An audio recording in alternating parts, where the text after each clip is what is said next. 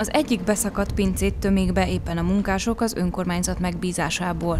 A múlt heti nagy esőzések óriási károkat okoztak Tolnán. Mindenki igyekezett megvédeni a saját portáját, de a víz utat tört magának. Szutarinokba, pincékbe, kertekbe folyt be. Volt olyan ingatlan, ahol a ház melléképületének egyik fala teljesen leomlott. Szerencsére nem laktak az ingatlanban, de így is nagy anyagi veszteség a tulajdonosnak. Nem csak magán, de közterületi károkat is okozott a vihar. Nyilván vannak olyan károk, amik közvetlenül nem az önkormányzatot érintették, de azt kell, hogy mondjam, hogy nagyon sok olyan probléma van, ami közterületen keletkezett. Értem ez alatt azt például, hogy, hogy Mözsön feltehetőleg akár több száz olyan pince van, ami a közút alá, vagy a, köz, a közterület alá nyúlik be. Ezt úgy kell érteni, hogy, a, hogy az ingatlanon, magáningatlanon belül kezdődik maga a pince, és egész hosszan kinyúlik, akár egészen a, az útig kinyúlik a, a közterületre. És sajnos volt olyan, olyan pince, ami beszakadt a nagy esőzések okán.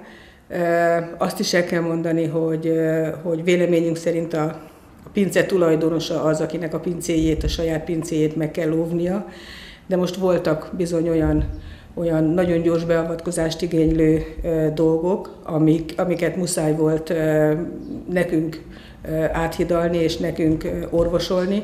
Ez azt jelenti, hogy akár a Szent Imre utcában, akár a Mezsi Rákóczi utcában voltak olyan beszakadt pincék, amik a biztonságos közlekedést a, akár a járdán, akár a, a járda és, a, és az út között akadályozták. Ezért úgy döntöttem, hogy ezeket SOS betömjük ezeket a pincéket. Nyilván a tulajdonosokkal minden, minden alkalommal egyeztettünk.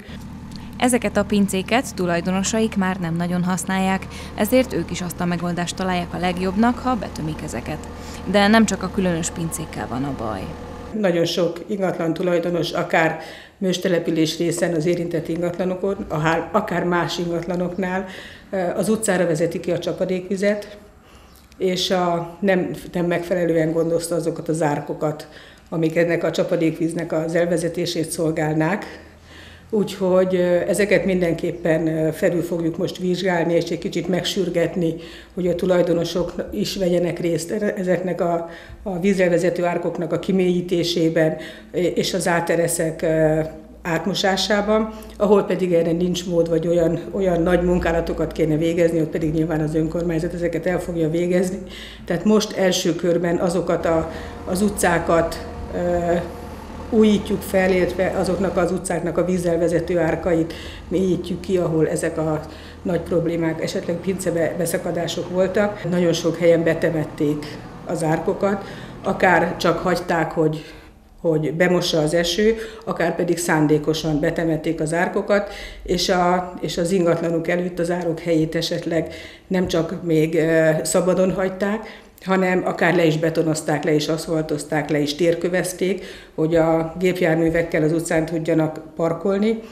Azt tudomásul kell venni, hogy hogy a víz az utat keres magának, tehát minél több területet betonozunk le, annál kevesebb az a hely, ahol el tud folyni a csapadékvíz, és ez így nem mehet tovább. Tehát valami megoldást közösen kell találnunk a tekintetben, hogy, hogy hova tudjuk biztonságosan elvezetni a csapadékvizet.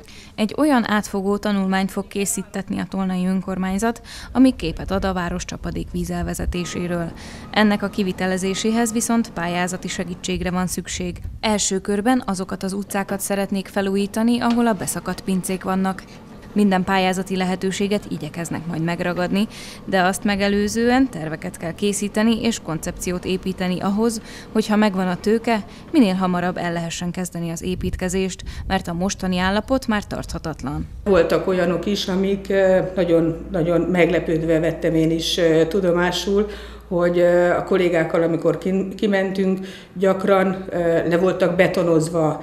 Tehát a, ezek félig, félig szikasztó árkok, félig pedig csapadékvíz elvezető árkok, hogy egész egyszerűen a tulajdonos úgy gondolta, hogy neki kellemetlen, hogy a, hogy a háza előtt sok víz van az árokba, és egész egyszerűen a két végét mondjuk lebetonozta, vagy ilyen nagy terméskövekkel betömte. Nyilván így a szerepét nem, nem tudta ellátni. Az árok az azért van, hogy, hogy nagy eső esetén az árok legyen tele vízzel, és hogy lehetőség szerint vezesse el a még szélesebb árkokba, vagy a még szélesebb csapadékvízelvezetőkbe.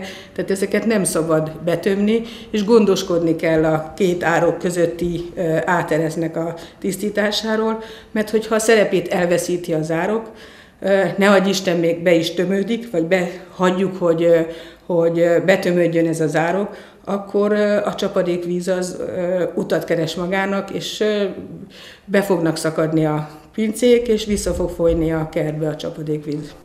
A Tolna megyei katasztrófavédelmi sajtószóvivő elmondta, hogy kevesebb ilyen eset történne, ha mindenki tisztán tartaná az ingatlana előtti árkot, és nem a probléma megoldásán kellene gondolkodni, hanem a megelőzésen.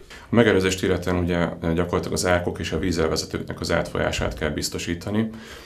Hogyha ezek megvannak, akkor jó eséllyel nagyobb mennyiségű víz fog tudni adott időn belül eltávozni.